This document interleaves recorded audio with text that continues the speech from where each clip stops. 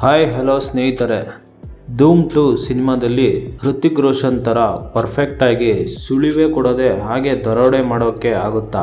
ಅಷ್ಟಕ್ಕೂ ಆ ಥರ ದರೋಡೆಕೋರರು ಇದ್ದಾರಾ?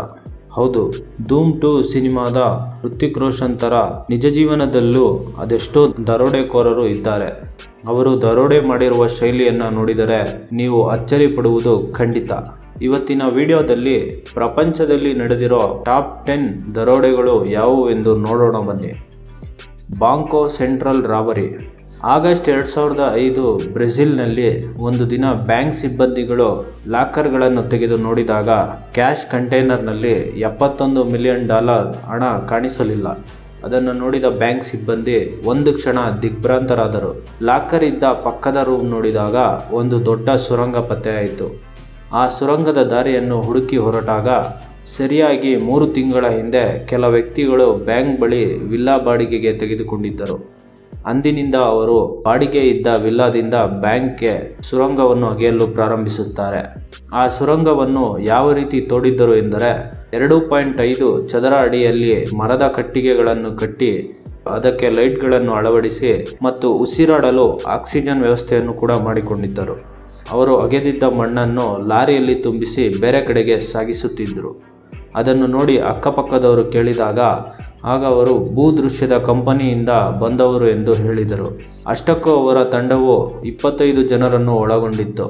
ಮೂರು ಪಾಯಿಂಟ್ ಐದು ಟನ್ ಇದ್ದ ಎಪ್ಪತ್ತೊಂದು ಮಿಲಿಯನ್ ಡಾಲರ್ಗಳನ್ನು ಡಕಾಯಿತಿ ಮಾಡಿದ್ದರು. ಎರಡು ಸಾವಿರದ ಹದಿನೇಳರಲ್ಲಿ ಕೇವಲ ಏಳು ಸದಸ್ಯರು ಮಾತ್ರ ಸಿಕ್ಕಿಬಿದ್ದರು. ಆದರೆ ಅವರಿಂದ ಕೇವಲ ಒಂಬತ್ತು ಮಿಲಿಯನ್ ಡಾಲರ್ ರಿಕವರಿ ಮಾಡಲಾಗಿದೆ. ಇನ್ನುಳಿದ ಅರವತ್ತೆರಡು ಮಿಲಿಯನ್ ಡಾಲರ್ಗಳನ್ನು ಕಂಡುಹಿಡಿಯಲು ಆಗಲಿಲ್ಲ.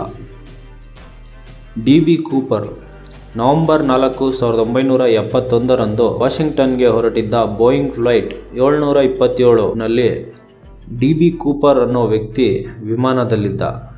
ಏರ್ ಹಾಸ್ಟೀಸ್ಗೆ ಒಂದು ಸಣ್ಣ ಪೇಪರನ್ನು ಕೊಡುತ್ತಾನೆ. ಆ ಪೇಪರ್ನಲ್ಲಿ ಇದ್ದದ್ದನ್ನು ಓದಿದ ಏರ್ ಹಾಸ್ಟೀಸ್ ಒಂದು ಕ್ಷಣ ಶಾಕ್ ಆಗಿ ನಿಂತರು. ಏಕೆಂದರೆ ಡಿ ಕೂಪರ್ ಅನ್ನೋ ವ್ಯಕ್ತಿ ಪೇಪರ್ನಲ್ಲಿ ಹೀಗೆ ಬರೆದಿದ್ದನು, ನನ್ನ ಹತ್ತಿರ ಇರುವ ಸೂಟ್ ಕೇಸ್ನಲ್ಲಿ ಬಾಂಬ್ ಇದೆ ಸೈಲೆಂಟ್ ಆಗಿ ಬಂದು ನನ್ನ ಪಕ್ಕದಲ್ಲಿ ಕುಳಿತುಕೋ ಎಂದು ಬರೆದಿದ್ದನು.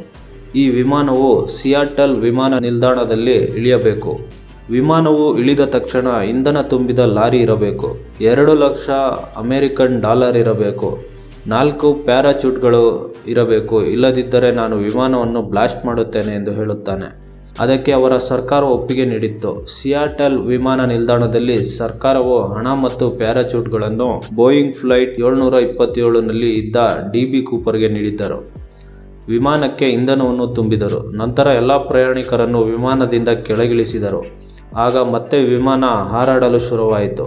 ವಿಮಾನದಲ್ಲಿದ್ದ ಎಲ್ಲ ಸಿಬ್ಬಂದಿಯನ್ನು ಕಾಕ್ಪಿಟ್ಗೆ ಕಳುಹಿಸಿ ಬಾಗಿಲು ಮುಚ್ಚಿದನು. ವಿಮಾನ ವಾಷಿಂಗ್ಟನ್ನಲ್ಲಿ ಲ್ಯಾಂಡ್ ಆಯಿತು.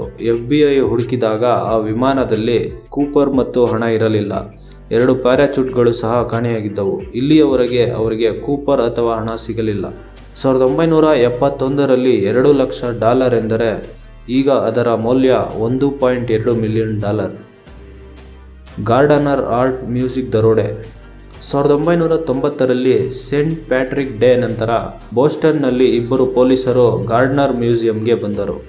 ಅವರು ಮ್ಯೂಸಿಯಂ ಸೆಕ್ಯೂರಿಟಿಗೆ ನಿಮ್ಮನ್ನು ಅರೆಸ್ಟ್ ಮಾಡುತ್ತಿದ್ದೇವೆ ಎಂದು ಹೇಳುತ್ತಾರೆ. ಏಕೆ ಎಂದರೆ ಮ್ಯೂಸಿಯಂನಲ್ಲಿದ್ದ ಸಿಸ್ಟಮ್ಗಳು ಸರಿಯಾದ ಪ್ರೋಟೋಕಾಲ್ನಲ್ಲಿ ಇಲ್ಲ ಎಂದು ಮ್ಯೂಸಿಯಂನ ಸೆಕ್ಯೂರಿಟಿ ಕೈಗೆ ಬೇಡಿ ಹಾಕಿ ಗೇಟಿಗೆ ಲಾಕ್ ಮಾಡಿದರು. ಮ್ಯೂಸಿಯಂ ಪರಿಶೀಲನೆ ಮಾಡುತ್ತೇವೆ ಎಂದು ಪೊಲೀಸರು ಒಳಗೆ ಹೋಗುತ್ತಾರೆ. ಒಳಗೆ ಹೋದವರು ಆಚೆ ಬರೋದೇ ಇಲ್ಲ. ಅದಾದ ನಂತರ ಏನಾಯಿತು ಎಂದರೆ, ಮ್ಯೂಸಿಯಂ ಒಳಗೆ ಇದ್ದ ಐನೂರು ಬಿಲಿಯನ್ ಡಾಲರ್ ಬೆಲೆ ಬಾಳುವ ವಸ್ತುಗಳು ಹಾಗೂ ದುಬಾರಿ ಬೆಲೆಯ ಪೇಂಟಿಂಗ್ಗಳು ಕಾಣೆಯಾಗಿದ್ದವು. ಇಲ್ಲಿಯವರೆಗೂ ಅವರ ಬಗ್ಗೆ ಒಂದು ಸಣ್ಣ ಸುಳಿವು ಕೂಡ ಸಿಗಲಿಲ್ಲ. ಕಾರ್ಲ್ ಜುಗಾಸಿಯಾ, ಅಮೆರಿಕದಲ್ಲಿ ಕಾರ್ಲ್ ಜುಗಾಸಿಯಾ ಎಂಬ ವ್ಯಕ್ತಿ ಹದಿನೈದರಿಂದ ನಲವತ್ತು ವರ್ಷಗಳ ಒಳಗೆ ಅನೇಕ ಬ್ಯಾಂಕುಗಳನ್ನು ದರೋಡೆ ಮಾಡುತ್ತಾನೆ. ಸುಮಾರು ಎರಡು ಮಿಲಿಯನ್ ಡಾಲರ್ ಹಣವನ್ನು ದೋಚಿದರು ಕೊನೆಗೆ ಆತನನ್ನು ಬಂಧಿಸುತ್ತಾರೆ. ಅವನನ್ನು ಹೇಗೆ ಬಂಧಿಸಿದರು ಎಂದರೆ, ಇಬ್ಬರು ಹನ್ನೆರಡು ವಯಸ್ಸಿನ ಹುಡುಗರು ಪಾರ್ಕ್ನಲ್ಲಿ ಆಟವಾಡುತ್ತಿದ್ದರು. ಅವರು ಮಾಸ್ಕ್ಗಳು ಹಾಗೂ ಗನ್ಗಳು ಇದ್ದ ಬ್ಯಾಗನ್ನು ನೋಡಿದರು. ತಕ್ಷಣ ಈ ವಿಷಯ ಪೊಲೀಸ್ ಅವರಿಗೆ ತಿಳಿಸುತ್ತಾರೆ. ಆ ಬ್ಯಾಗ್ ಮೇಲಿದ್ದ ಫಿಂಗರ್ ಪ್ರಿಂಟಿಂದ ಕಾಲ್ ಜುಗಾಸಿಯ ಸಿಕ್ಕಿಬೀಳುತ್ತಾನೆ. ಮೂವತ್ತು ವರ್ಷಗಳಿಂದ ಅವನು ಜೈಲಿನಲ್ಲಿ ಕಾಲ ಕಳೆಯುತ್ತಿದ್ದಾನೆ. ಬೇಕರ್ ಸ್ಟ್ರೀಟ್ ರಾಬರಿ ಲಂಡನ್ನಲ್ಲಿ ಬೇಕರ್ ಸ್ಟ್ರೀಟ್ ಬ್ಯಾಂಕ್ ಲಾಕರ್ಗೆ ಕಳ್ಳರ ತಂಡವೊಂದು ಸುರಂಗವೊಂದನ್ನು ತೋಡಿ ಮೂರು ಮಿಲಿಯನ್ ಪೌಂಡ್ಗಳನ್ನು ದರೋಡೆ ಮಾಡಿದರು. ಅಂದಿನ ದಿನ ಪೊಲೀಸ್ ರೇಡಿಯೋ ಆಪರೇಟರ್ ಈ ಕಳ್ಳರ ಗ್ಯಾಂಗ್ ವಾಕಿ ಟಾಕಿ ಬಳಸಿ ಮಾತಾಡಿದ ವಿಷಯಗಳನ್ನು ಕ್ಯಾಪ್ಚರ್ ಮಾಡಿರುತ್ತಾರೆ. ಅದನ್ನು ಕೇಳಿಸಿಕೊಂಡಿದ್ದ ಪೊಲೀಸರು ಆ ಏರಿಯಾದಲ್ಲಿದ್ದ ಎಲ್ಲ ಬ್ಯಾಂಕ್ಗಳನ್ನು ಹುಡುಕುತ್ತಾರೆ. ಹಾಗೂ ಅವರು ದರೋಡೆ ಮಾಡಿದ ಬ್ಯಾಂಕಿಗೂ ಭೇಟಿ ನೀಡುತ್ತಾರೆ. ಆದರೆ ಪೊಲೀಸರು ಆ ಬ್ಯಾಂಕನ್ನು ಅನುಮಾನಿಸುವುದಿಲ್ಲ. ಏಕೆಂದರೆ ಆ ಬ್ಯಾಂಕ್ನಲ್ಲಿದ್ದ ಲಾಕರ್ ಬೀಗ ಹೊಡೆದಿರುವುದಿಲ್ಲ. ಕೆಲ ದಿನಗಳ ನಂತರ ಪೊಲೀಸರು ಕಳ್ಳರ ಗ್ಯಾಂಗನ್ನು ಪತ್ತೆ ಹಚ್ಚುತ್ತಾರೆ ಆದರೆ ಆ ಗ್ಯಾಂಗ್ ಲೀಡರ್ ಮತ್ತು ಅವರು ದೋಚಿದ ಹಣವು ಇಲ್ಲಿಯವರೆಗೂ ಸಿಗಲಿಲ್ಲ.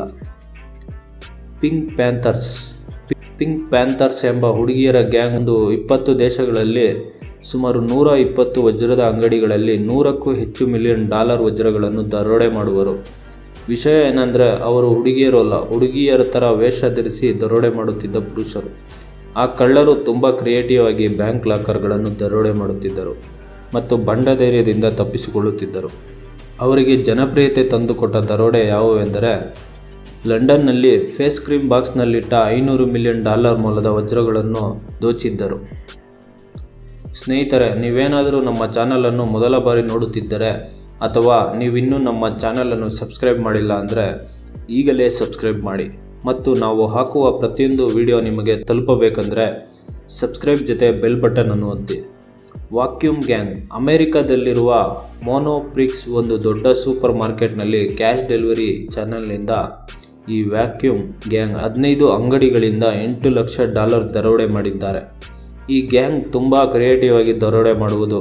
ಅದು ಹೇಗೆ ಅಂದರೆ ಅಮೆರಿಕದ ಈ ಸೂಪರ್ ಮಾರುಕಟ್ಟೆಯಲ್ಲಿ ಕ್ಯಾಶಿಯರ್ಗಳು ಸಂಜೆ ಕೆಲಸ ಮುಗಿದ ಹೊತ್ತಿನಲ್ಲಿ ಬೆಳಗಿನಿಂದ ವ್ಯಾಪಾರ ಆಗಿದ್ದ ಹಣವನ್ನು ಒಂದು ಎನ್ವಲಪ್ ಒಳಗೆ ಹಾಕಿ ಒಂದು ಸುಕ್ಷನ್ ಟ್ಯೂಬ್ನಲ್ಲಿ ಹಾಕುವರು. ಎಲ್ಲ ಕೌಂಟರ್ಗಳ ಕ್ಯಾಶಿಯರ್ ಹೀಗೆ ಮಾಡುತ್ತಾರೆ. ಹೀಗೆ ಮಾಡುವುದರಿಂದ ಎಲ್ಲ ಕ್ಯಾಶಿಯರ್ಗಳು ಹಾಕಿದ ಎನ್ವಲಪ್ ಒಂದು ಮೇನ್ ಚಾನೆಲ್ನಲ್ಲಿ ಬರುತ್ತದೆ. ಈ ಚಾಣಕ್ಯ ದರೋಡೆಕಾರರು ಇದನ್ನೇ ಬಂಡವಾಳ ಮಾಡಿಕೊಂಡು ಸುಕ್ಷನ್ ಟ್ಯೂಬ್ ಮಧ್ಯದಲ್ಲಿ ಡ್ರಿಲ್ಲಿಂಗ್ ಮಿಷಿನಿಂದ ತೂತು ಮಾಡಿ ಮಾಡಿಫೈ ಆದ ಪವರ್ಫುಲ್ ವ್ಯಾಕ್ಯೂಮ್ ಮೆಷಿನ್ ಟ್ಯೂಬ್ ಒಳಗೆ ಹಾಕಿ ಹಣವನ್ನು ದರೋಡೆ ಮಾಡುತ್ತಿದ್ದರು. ವಿಶೇಷ ಎಂದರೆ ಈ ಮೋನೋಪ್ರಿಕ್ಸ್ ಸೂಪರ್ ಮಾರುಕಟ್ಟೆಯು ಕ್ಯಾಶ್ ಡೆಲಿವರಿ ಸಿಸ್ಟಮನ್ನು ಇಲ್ಲಿಯವರೆಗೆ ಕೂಡ ಬದಲಾಯಿಸಿಲ್ಲ. ಏಕೆಂದರೆ ಈ ಸಿಸ್ಟಮನ್ನು ಬದಲಾಯಿಸುವುದಕ್ಕೆ ಒಂದು ಮಿಲಿಯನ್ ಡಾಲರ್ ಖರ್ಚಾಗುತ್ತದೆ.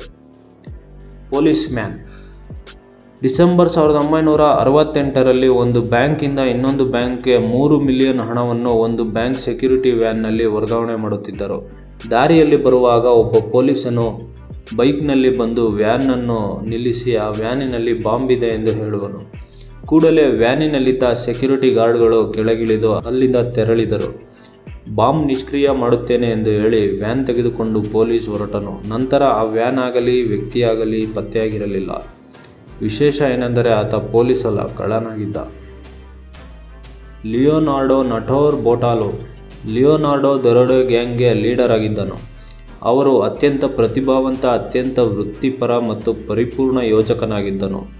ಬೆಲ್ಜಿಯಂನಲ್ಲಿ ಅವನು ಬ್ಯಾಂಕ್ನಲ್ಲಿ ಕಚೇರಿಯನ್ನು ತೆಗೆದುಕೊಂಡರು. ಬ್ಯಾಂಕ್ ಜನರಿಗೆ ವಜ್ರದ ವ್ಯಾಪಾರಿಯಂತೆ ನಟಿಸುತ್ತಿದ್ದನು. ಮೂರು ವರ್ಷಗಳಿಂದ ಅವರು ತಮ್ಮ ಮೇಲಿನ ವಿಶ್ವಾಸಾರ್ಹತೆಯನ್ನು ಹೆಚ್ಚಿಸಿಕೊಂಡರು ಅವನು ಬ್ಯಾಂಕ್ನಿಂದ ಇಪ್ಪತ್ನಾಲ್ಕು ಗಂಟೆಗಳ ಪ್ರವೇಶ ಐಡಿಯನ್ನು ತೆಗೆದುಕೊಂಡರು. ಸುಮಾರು ನೂರು ಮಿಲಿಯನ್ ಡಾಲರ್ ಮೌಲ್ಯದ ವಜ್ರಗಳನ್ನು ದೋಚಿದರು. ವಿಶೇಷತೆ ಏನೆಂದರೆ ವಜ್ರಗಳಷ್ಟೇ ಅಲ್ಲ, ಅವರ ಬಳಿ ಇದ್ದ ಕಾಗದ ಪತ್ರಗಳನ್ನು ದೋಚಿದ್ದರು. ಆ ಬ್ಯಾಂಕ್ನಲ್ಲಿದ್ದ ಸಿ ಸಿ ಟಿ ವಿ ದೃಶ್ಯಾವಳಿಗಳನ್ನು ಲಿಯೋನಾರ್ಡೋ ಗ್ಯಾಂಗ್ ಅಳಿಸಿ ಹಾಕಿ ಎಲ್ಲರೂ ಪರಾರಿಯಾಗಿದ್ದರು. ಆದರೆ ಮತ್ತೆ ಲಿಯೋನಾರ್ಡೋ ಮಾತ್ರ ಸಿಕ್ಕಿಬಿದ್ದರು. ಏಕೆಂದರೆ ದರೋಡೆಯ ದಿನದಂದು ಅವನು ಅರ್ಧ ಸ್ಯಾಂಡ್ವಿಚ್ ತಿಂದು ಅಲ್ಲಿಯೇ ಉಳಿಸಿದ್ದನು. ಸ್ಯಾಂಡ್ವಿಚ್ನಲ್ಲಿರುವ ಡಿ ಎನ್ ಎ ಆಧರಿಸಿ ಅವರು ಲಿಯೋನಾರ್ಡೋ ಅನ್ನು ಬಂಧಿಸಿದರು. ಆದರೆ ಅವರು ಒಂದು ರೂಪಾಯಿ ಕೂಡ ವಸೂಲಿ ಮಾಡಲು ಕೂಡ ಆಗಲಿಲ್ಲ. ಸ್ನೇಹಿತರೆ, ನಾವು ದರೋಡೆಗಳಿಗೆ ಉತ್ತಮ ಉದಾಹರಣೆಗಳನ್ನು ನೀಡಿದ್ದೇವೆ ಅಷ್ಟೇ.